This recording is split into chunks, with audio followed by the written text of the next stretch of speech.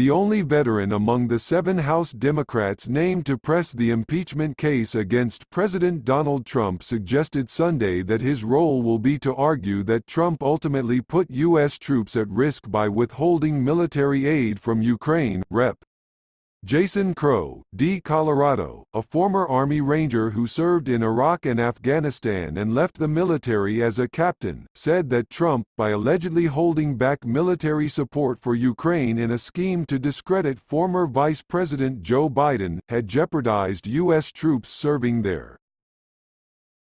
Related, this lawmaker is the only veteran on the team arguing for Trump's impeachment by withholding aid. Trump was jeopardizing our national security and our troops, Crow said on CNN's State of the Union. U.S. service members have been rotating to Ukraine to train local forces to defend against Russian backed separatists occupying the Donbass region of eastern Ukraine. Crow, a lawyer and first term House member whose district includes the Denver suburbs, said he was surprised to be asked by House Speaker Nancy Pelosi, D. California, to serve as one of the seven impeachment managers who will essentially serve as the prosecution team in the Senate trial set to begin Tuesday including a veteran among the impeachment managers was in line with Pelosi's intent to have a diverse team make the case against Trump, Crow said. Crow also said he would argue for witnesses to be called to back up the two articles of impeachment alleging abuse of power and obstruction of Congress by Trump. Trump has said he has done nothing wrong, so let's have the people that are in the best position to confirm that come in and testify before the U.S. Senate, Crow said, in a statement earlier this month after he was named as an impeachment manager. Crow said that, while there is no map for the challenges we face, my oath to support and defend the Constitution has guided me for years, and will continue to guide me during this trial.